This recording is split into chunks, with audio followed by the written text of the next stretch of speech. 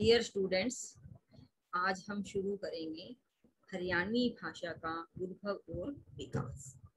इसमें आप अब तक आपने जैसे हिंदी भाषा का साहित्य पढ़ा, उसके कई पड़ाव पढ़े, आदिकाल भक्तिकाल रीतिकाल, फिर आधुनिक काल का काव्य है उसकी कई सारे पड़ाव, फिर उसका आधुनिक काल का गद्य है उसके कई सारे पड़ाव। इसी तरह से अब हम हरियाणवी भाषा का साहित्य और इतिहास की उसका किस तरह से इसके अंतर्गत आज जो हम पहला प्रश्न पढ़ेंगे, वो है हरियाणवी भाषा का उद्भव और विकास। ये हरियाणवी भाषा कब, कहाँ से शुरू हुई? कहाँ से उसका विकास हुआ? इस तरह से आज हम पढ़ेंगे हरियाणवी भाषा का उद्भव और विकास? तो जो हरियाणवी भाषा का उद्भव विकास, हरियाणवी भाषा, हरियाणवी प्रांत की भाषा हरियाणा प्रांत। ठीक है ना? हरियाणा प्रांत की भाषा है, इसीलिए इसे हम हरियाणवी भाषा कहते हैं। हरियाणवी भाषा वर्तमान में पश्चिमी हिंदी उपभाषा की पाँच बोलियों में से एक प्रमुख बोली है। मतलब जो पश्चिमी हिंदी है, उसकी कई उपभाषा है और उसकी पाँच बोलियाँ हैं, उनमें से एक प्रमुख बोली है, वो है हरियाणवी भाषा। पश्चिमी हिंदी उपभाषा का विकास शोर श्रेणी में हुआ है, जो प्राकृत भाषा के प्रचलन के समय एक क्षेत्रीय बोली थी। अतः कहा जा सकता है, हरियाणवी भाषा का विकास शोर श्रेणी भाषा में हुआ है। इस संदर्भ में डॉक्टर नगेंद्र का कथन है, पहली ईस्वी तक आते आते यह बोलचाल की भाषा और परिवर्तित हुई तथा पहली ईस्वी से 500 ईस्वी तक इसका रूप प्राकृत नाम से अभिहित किया गया। इस बात में क्षेत्रीय पोतियाँ कई थी, जिनमें मुख्य शोर सैनी, पैशाची, प्राच महाराष्ट्री मागधी और अर्धमाकी थी। डॉक्टर नगेंद्र इन संदर्भ में आगे लिखते हैं, हरियाणवी का विकास उत्तरी शोर सैनी अपभ्रंश के पश्चिमी रूप से हुआ है। खड़ी बोली अहिरवारी अहिरवाटी मारवाड़ी, पंजाबी से घिरी इस बोली को कुछ लोग खड़ी बोली का पंजाबी से प्रभावित रूप मानते हैं। मतलब इस भाषा के ऊपर अनेक भाषाओं का प्रभाव है। इस तरह से इसके बारे में परिभाषाएँ हैं। आप डॉक्टर नगेंद्र की यह परिभाषा तैयार कर सकते हैं कि किस तरह से हरियाणवी भाषा की शुरुआत हुई, इसकी जननी कौन सी है, कहाँ से ये भाषा शुरुआत में आई है या मूल रूप से ये भाषा कहाँ से निकली है। हरियाणवी भाषा का उद्भव और विकास, यह जो शुरुआत हुई है मोटे रूप से हरियाणा तथा दिल्ली का देहाती भाग है। हरियाणवी में केवल लोक साहित्य है, जिसका कुछ अंश मुद्रित भी है। डॉक्टर अगिंद के अनुसार हरियाणवी एक लोक भाषा है। हरियाणवी भाषा आज तक हज़ारों वर्ष यात्रा तय कर चुकी है क्योंकि वर्तमान हरियाणवी भाषा में प्राकृत भाषा के शब्द मौजूद है और प्राकृत भाषा जो है बहुत पुरानी है, इसलिए जो साहित्यकार है वह ये अंदाज़ा लगाते हैं कि हरियाणवी भाषा हज़ारों वर्ष पूर्व की भाषा जिसका प्रचलन पहली से पांचवी सदी के बीच था। हरियाणवी भाषा ने जहाँ प्राकृत भाषा के शब्द लिए हैं, वहीं इसने प्राकृत भाषा को अपने अनेक शब्द दिए भी हैं। इसी प्रकार हरियाणवी भाषा पर संस्कृत, पानी तथा अपभ्रंश भाषाओं का भी प्रभाव रहा है। हरियाणवी भाषा की विकास यात्रा में संस्कृत, पाली प्राकृत तथा अपभ्रंश चारों ही भाषाओं ने अपना महत्वपूर्ण योगदान दिया है। आप इसे ये समझ सकते हैं कि अनेक भाषाएँ जो कि हिंदी की भाषा के ऊपर प्रभावित थी, वैसी ही भाषाएँ हरियाणवी को भी प्रभावित करती रही है। हरियाणवी भाषा विकास यात्रा में इसके लोक साहित्य लोक साहित्य का क्या जो हरियाणवी कल्चर से जुड़ा हुआ साहित्य है महत्वपूर्ण योगदान रहा है हरियाणवी लोक साहित्य के अंतर्गत आने वाले लोक गीतों लोक कथाओं लोक सुभाषितों भजनों सांगी भक्ति साहित्य रीति साहित्य तथा आधुनिक युग की कविताओं नाटकों उपन्यासों ने हरियाणवी भाषा के विकास को निरंतर गति प्रदान की है। इसका अर्थ क्या है कि हरियाणवी भाषा में रचनाएँ लिखी गई हैं। वह बहुत प्रचलित है। आपने यह देखा होगा कि आजकल जो सिनेमा जगत है, उसमें भी कई मूवीज़ ऐसी हैं जिसमें हरियाणवी भाषा का प्रयोग किया जा सकता है। आप यह कह सकते हैं कि दबंगिरी में भी यह भाषा और हँसी मज़ाक में भी यह भाषा बहुत ही प्रभावशाली मतलब महसूस होती है। प्रभावशाली अपना प्रभाव प्रकट करती है। इसलिए इस भाषा का प्रचलन जो है बोलना और सब कुछ बहुत ज़्यादा तेज़ी से हो रहा है। हरियाणवी भाषा के विकास में लोक गीतों के प्रसिद्ध गायकों दादा बस्ती राम प्रज्ञा, चक्षुश्री पृथ्वी सिंह, बेधड़क आदि की रचना शैली का अमिट योगदान है। इन सबने बहुत अच्छा योगदान दिया है कि जिससे हरियाणवी भाषा को काफ़ी प्रसिद्धि मिली। इसका जो साहित्य है, जो इसके लोकगीत है, इसके संगीत है लोक कथाएँ हैं, वह देश भर में बहुत ज़्यादा प्रचलित है। इस वजह से हरियाणवी का विकास धीरे धीरे होता रहा है। हरियाणवी भाषा का उभर विकास क्या है?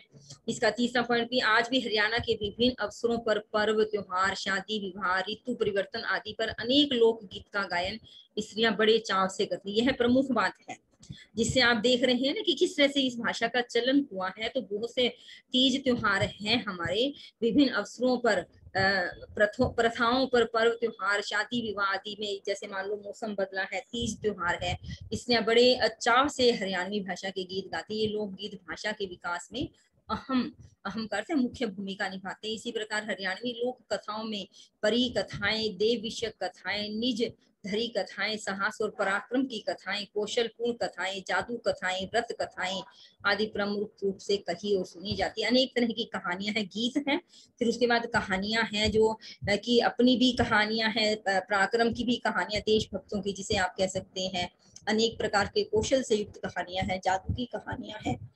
इसके अलावा व्रत आदि की कहानियाँ भी बहुत ज़्यादा हरियाणवी भाषा में सुनाई जाती है। इन लोक कथाओं का भी, हरियाणवी भाषा की विकास यात्रा में महत्वपूर्ण योगदान है। लोक सुभाषितों के अंतर्गत आने वाले हरियाणवी मुहावरों, लोकोक्तियों, सुक्तियों, बालकों के बूझ बूझीवतों ने भी हरियाणवी भाषा की विकास यात्रा में अपनी महत्वपूर्ण भूमिका निभाई है। हिंदी साहित्य की भांति हरियाणवी भाषा के साहित्य में न्यायधर सिंह बेचैन, जो झज्जर के रहने वाले तथा मटरू लाल गोयल, मेरठी द्वारा रचित आल्हा छंद मिलते हैं। इन आल्हा छंदों ने भी हरियाणवी भाषा के विकास में अपनी गहरी छाप छोड़ी है।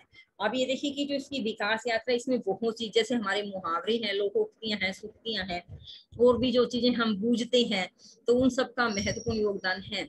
रहने वाला मैं झाझर का न्यायदर्शी है, मेरा नाम लिखूं लड़ाई बामनगढ़ की आला खड़ियों कहूँ तमाम। तो जिन्होंने ये लिखा, उनका एक दोहा है, प्रचलित है कि मैं जो है झज्जर का रहने वाला हूँ, न्यादर सिंह है, मेरा नाम है और मैं बावनगढ़ की लड़ाई को लिखता हूँ और आला खंड में मैं लिख रहा हूँ, आला छंद में मैं लिख रहा हूँ, आला खंड मैंने लिखे हैं।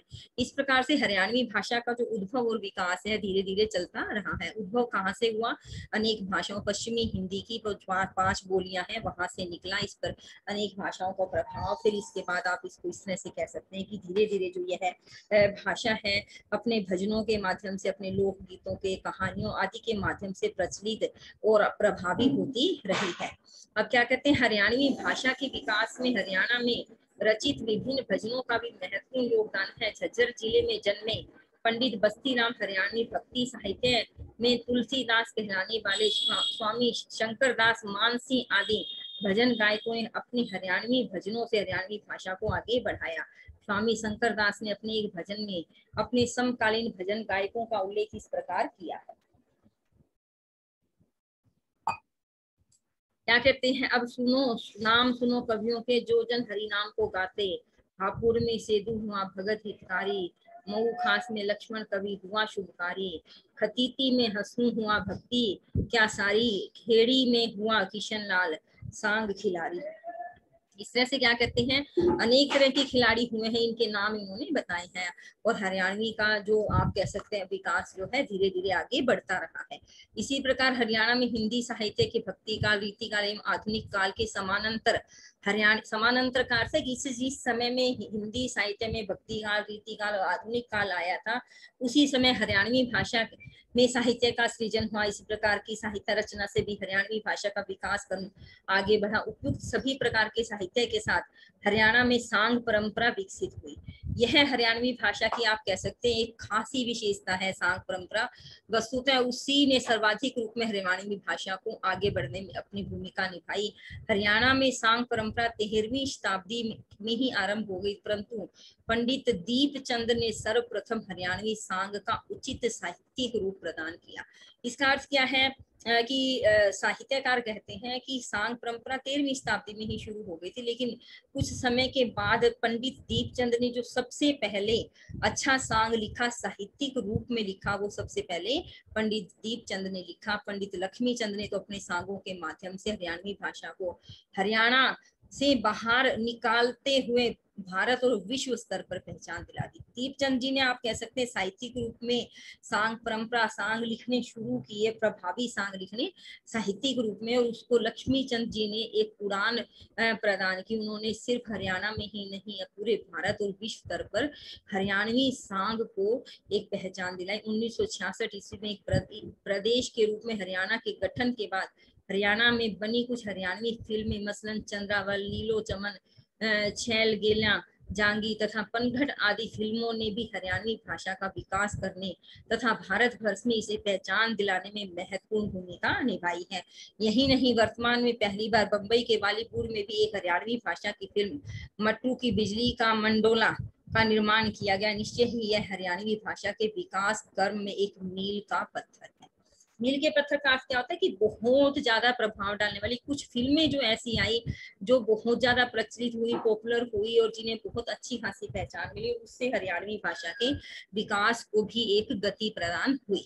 इस प्रकार आप यह देख सकते हैं कि जो हरियाणवी भाषा का विकास का क्रम जो शुरू हुआ था, अर्थात इसकी शुरुआत जो हुई थी, वह पश्चिमी हिंदी की पाँच बोलियों में से यह एक भाषा है, प्राकृत, संस्कृत आदि अनेक भाषाओं के प्रभाव के साथ साथ यह प्रचलित हुई। फिर इसमें जो गीत, लोकगीत लिखे गए लोक कथाएँ लिखी गई, उसके साथ साथ जब इसमें सांग परंपरा का सूत्रपात हुआ तो वो और फिर यह फ़िल्मों में भी भाषा बोली जाने लगी। तो जो भारतीय सिनेमा है, उसने भी इस भाषा के विकास में महत्वपूर्ण भूमिका निभाई। और आप यह कह सकते हैं कि हरियाणवी भाषा जो है, यह अपने हरियाणा की भाषा है और हरियाणा प्रदेश की भाषा है। हरियाणा प्रदेश की भाषा होने के कारण ही इसे हम हरियाणवी भाषा का दर्जा देते हैं और इस प्रकार इसका विकास हुआ और इसका उद्भव हुआ। अर्थात इसकी शुरुआत हुई और धीरे धीरे करके इस तरह से इसका विकास होता चला गया।